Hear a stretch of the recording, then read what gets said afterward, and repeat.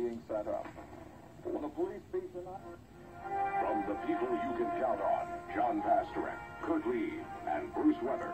This is the 6 o'clock edition of Eyewitness News. Good evening. In the news, a rash of house fires hit Baton Rouge very early this morning. No one was hurt, but the blazes caused thousands of dollars damage. Celebrating, too. Stay with